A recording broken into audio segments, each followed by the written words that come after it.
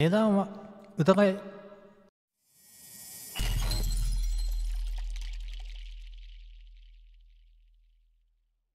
はい、どうも皆様、こんにちは。こんばんは。おはようございます。はい、こたパパです。今日もね、一つよろしくお願いいたします。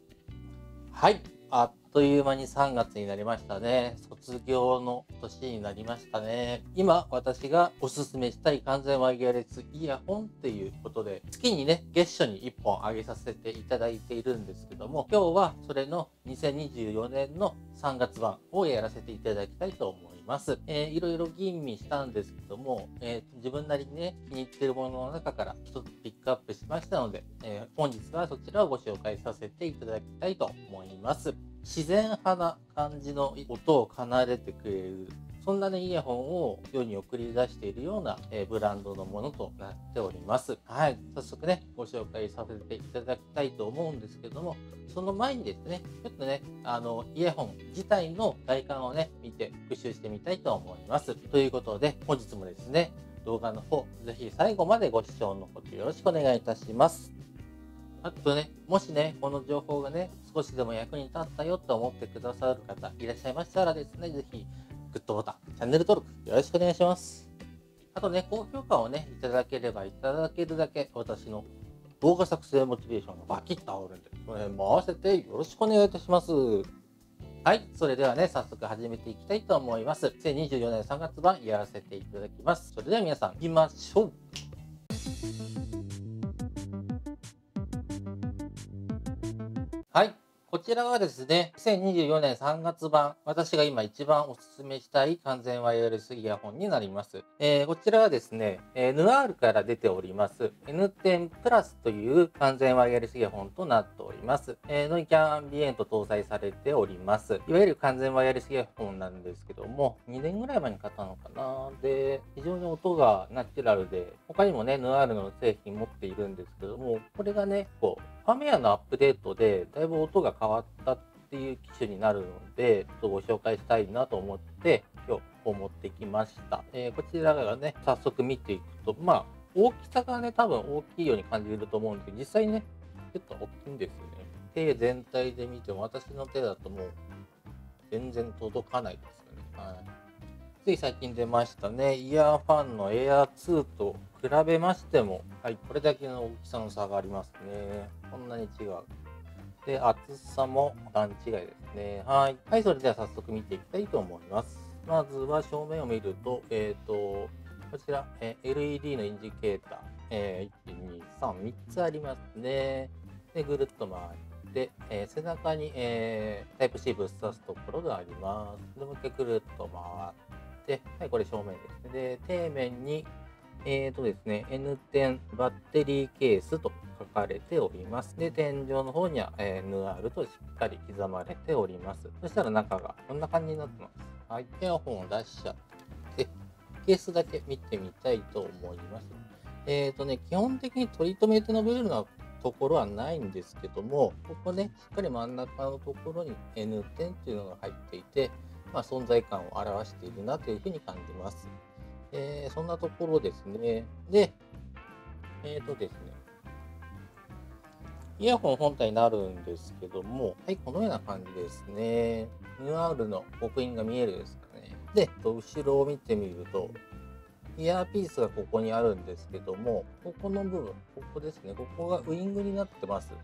で、耳のところにフック型で、えー痛みも和らげながら、しっかりとした装着感を、えー生み出すために、えーしっかりと、えー作られています。かなりね、長時間使った際でも、あの耳があまり痛くならないので、これは、あのかよく考えてくれたなっていうふうに思いますね。で、ちょっと見えるかなここに、ここですね。ここに映りボタンが1個。で側面にもここですね。1個。はい、片側にね、それぞれ2個映るボタンが配置されています。まあ、えっ、と、モードの切り替えですとか、音量を上げたり下げたり、トラックを飛ばしたり戻したりっていう感じですね。映るボタンは僕は好きなんで、えっ、と、いいなというふうに思っております。うん。やっぱ、セピア色っていうか、セピアブラックっていうかね、結構かっこいいですよね。これつけてたら。はい、えー、外観レビューこれだけでいきたいと思います。それではですね、えー、まずこちらのイヤホンの製品概要を振り返ってみたいと思います。では早速行きましょう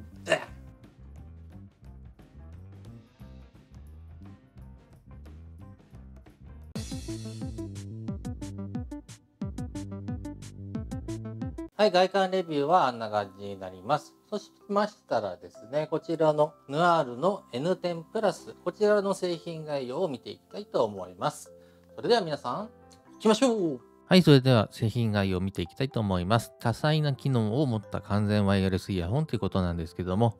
えー 10mm ドライバー、ヌアールドライバー N10 を装備しておりますけども、独自のですね、10mm、えーダイナミック型フルレンジドライバー、えーヌアールドライバー N10V3 というものを搭載しております。アナログチューニングとデジタルイコライザーを組み合わせたハイブリッドチューニングを施し搭載しております。合成と、えー男性に優れた PEEK、また振動膜の表面に施した TPE、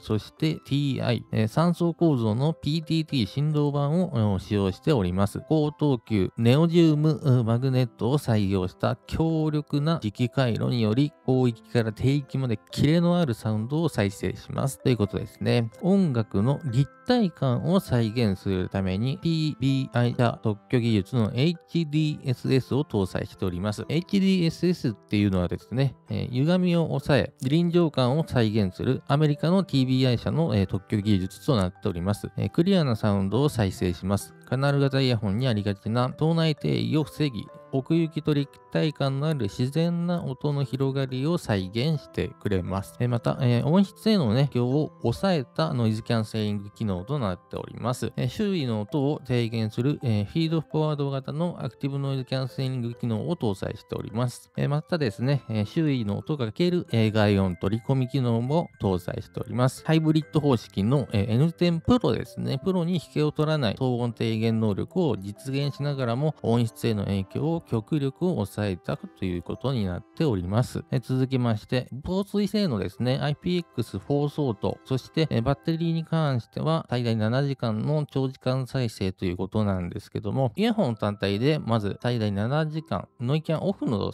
時ですけどもね、7時間使うことができます。ケース併用で、え最大30時間使えます。ノイキャンオンの時は単体で5時間という形ですね。2時間ちょっと短くなる感じですけども、先ほど述べた IPX4 相当の耐水性ということなので、ちょっとね、雨ですと、小雨とかですね、えーちょっとのワーキングした時のちちょっとした汗ですとか、その辺は全く問題にならない程度のものが、えー装備されております。あと続きまして、通話の高音質化と、えーマルチポイント対応ということなんですけども、通話時の音声を高音質化した、えーツイン CVC マイクを搭載。同時2台待ち受けが可能なマルチポイントにも対応しているので、リモート会議などテレワークでの使用も、えー最適です。左右独立通信により、どちらか片側をオフにしても音楽や通話が途切れずに利用することができます。簡単ペアリング機能、えー Google ファーストペアを採用しております。瞬時にペアリングすることができます。で、最後ですね、aptX アダプティブに対応、低遅延ゲームモードも搭載ということなんですけども、対応コーデックはですね、aptX アダプティブまで対応、そして独自のゲーミングモードを搭載し、低遅延で、えーワイヤレス通信が使用することができます。全体の性能としては、え以上となります。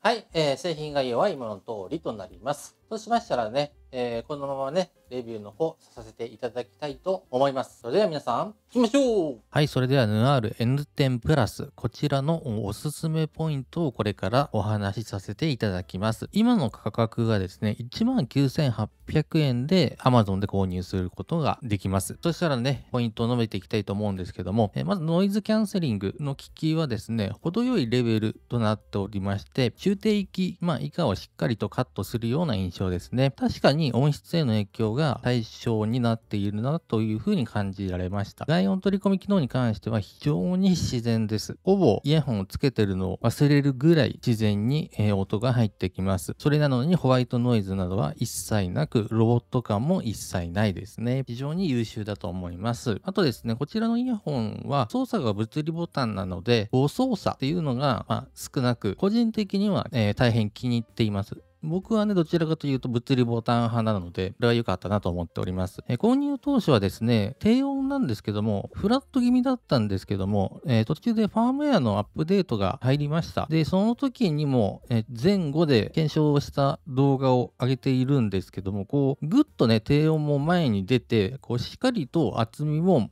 増したんですよね。で、解像度のクリアさも改善されて、より高音質なモデルになりました。アップグレードでここまであ音質変わるんだなって正直ね、えー、びっくりしたことを覚えています。で、中高域が、えー、頭一つ良くなりました。で、基本的にはね、フラット寄りなんですけども、まあ、そこだけね、ちょこ、ちょっとだけポコッと 波が出たような感じにちょっと変わりましたね。で、本当にメリハリが出て、高音がよく響くようになりました。例えばですね、ね、トライアングル、あんな小さい三角形のなんですけど、あれがチリーンってなったりっていう、いわゆるね、金属音が刺さらずにね、むしろ気持ちいいんですよね。他にはね、えー、オルゴールの音源ですよね。響き方とか、えー、残響感だとか、共鳴感。この辺が非常に合います。きらびやかです。で、えー、それぞれの帯域なんですけども、程よい量感の低音域、アピールしてくる中音域、安保下がったボーカル帯域、そしてきらびやかな高音域という構成に感じられました。重たい音でもね、余裕で、えー、ぶん回せるような余裕感も、えー、感じられます。で、ヌアールの持ち味である、えー、ナチュラル感っていうのを残しつつ、非常に軽やかに聴けるものへと変化しましたね。で、音場はね、そこそこ広くてですね、前面から、えー、横方向に広がって、音の分離感もいいことから、各楽器の位置を把握しやすいです。で、臨場感もよく、音楽に、えー、没入できるものとなっております。筐体にね、えー、あとウィングがついていて、装着感は非常にいいです。抜群です。はい、以上がね、今月のおすすめする完全ワイヤレスイヤホンのポイントとなります。そしたらですね、最後に、えー、こちらの通話品質を確認してからまとめの方に行きたいと思います。それでは音声どうぞ。はい、こちらがですね、本日ご紹介させていただいております。えー、ヌアールの N10 プラスの、えー、マイクの性能を検証しております。音量音質いかがでしょうか、えー、どのように届いていますか？音は明瞭でしょうか？こちらがですね、N10 プラスの通話品質となります。ぜひね、参考にされてみてください。はい、今のがね、通話品質となります。ぜひね、参考にされてみてください。やっぱり私的には非常にクリア、ノイズなし、いいマイク性能だなというふうに感じました。はい、それではまとめていきたいと思います。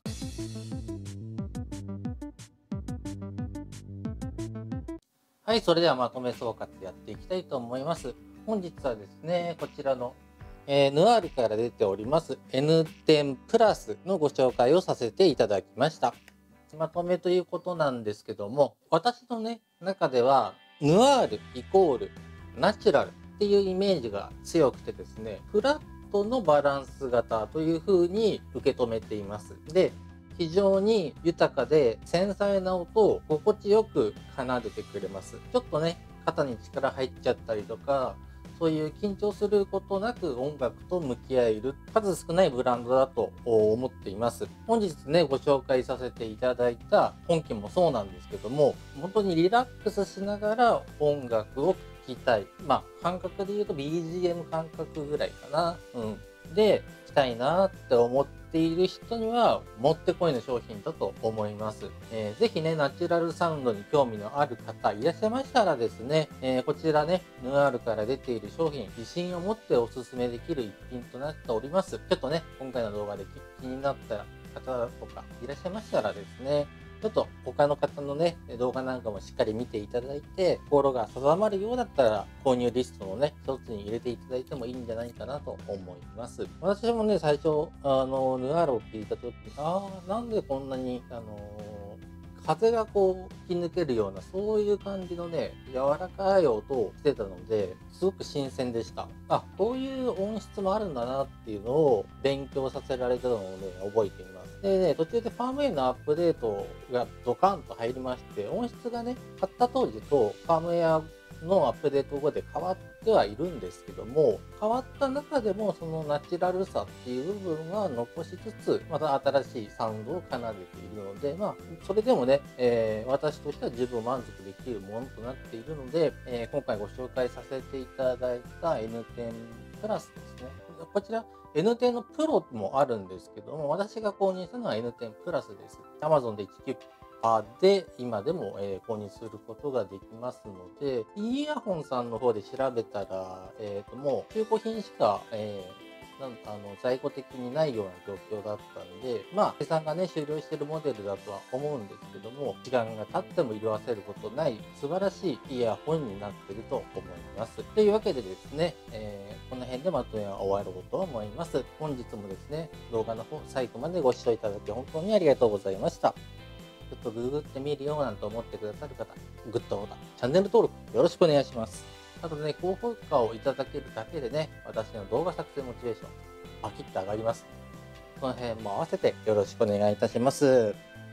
はい。いやー、ほんとにこう動画作ってていいと思うんですけど、1ヶ月っていうのめっちゃくちゃ早いですね。つい最近2月版を作ったと思ったら、もうね、3月版今制作してますけども、時間が経つのは早いなとなんて思いますね。はい。それではね、また皆さんとは次の動画でお会いしたいと思います。お互いね、素晴らしい音楽ライフを送っていきましょう。はい。それでは皆さんごきげんよう。さようなら。バイバイ。